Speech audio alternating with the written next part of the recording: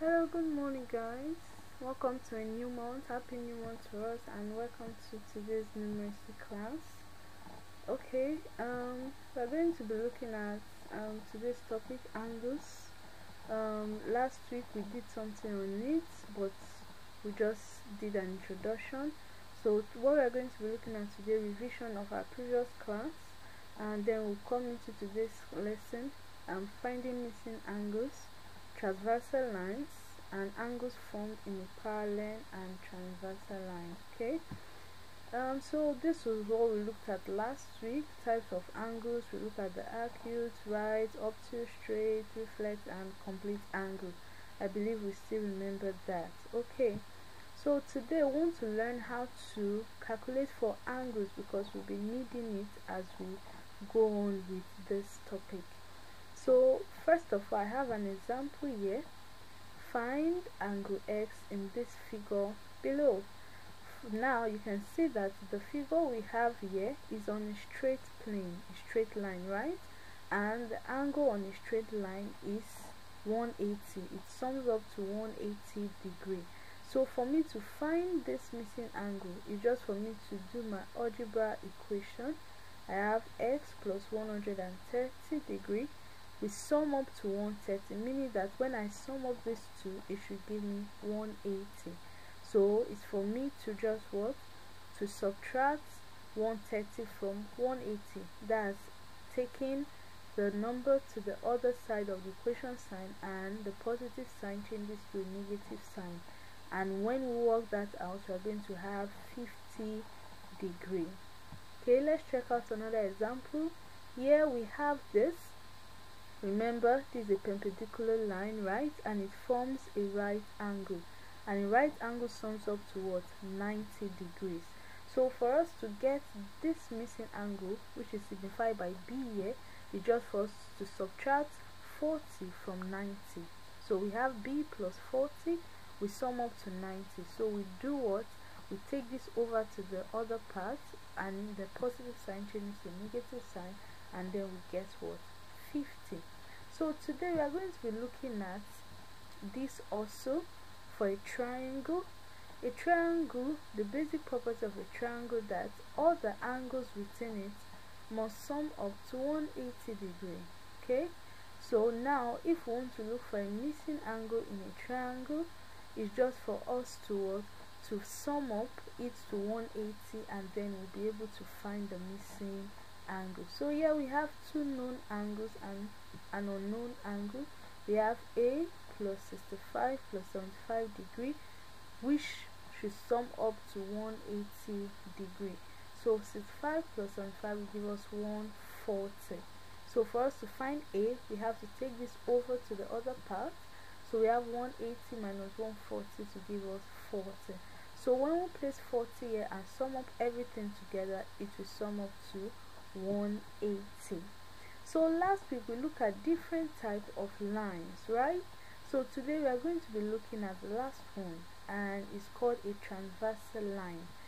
We first of all look at those angles because it's going to be helping us as we go on in this topic calculating for angles. So a transversal is a line that cuts across two parallel lines. You can see these lines are parallel lines. Remember what we did last week so when we have another line cutting across two parallel lines, no matter in what form it comes, is called a transversal line or a transversal. So in a transversal, we have eight angles. Eight angles are being created. You can see this B, C, D, F, G, J, K, and L. Right? These angles have their specific names too. Just like the way we looked at last week, different type of angles we also have a special type of angles for this form of lines. First, we have the corresponding angles, alternate interior angles, alternate exterior angles, and supplementary angles. But for today, we are just going to be looking at the corresponding angles. Please, I want you to pay close attention as we move on. So, corresponding angles are angles that are the same corner at each intersection. Remember we did intersecting lines last week? So this is the point of intersection is that not it? And this is another point of intersection. This line meets with this line to form an x shape. Remember our x shape we talked about? Can you see the x? Can you form it? Yeah good. And then this other part x good.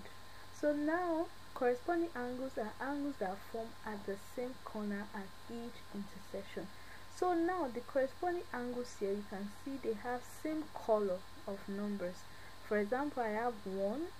One has same color with what? Five.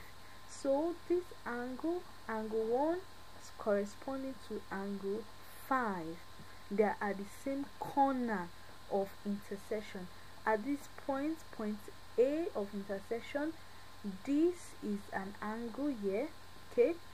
At this second point of intersection this is also an angle. This angle corresponds to this first one because they're on the same position.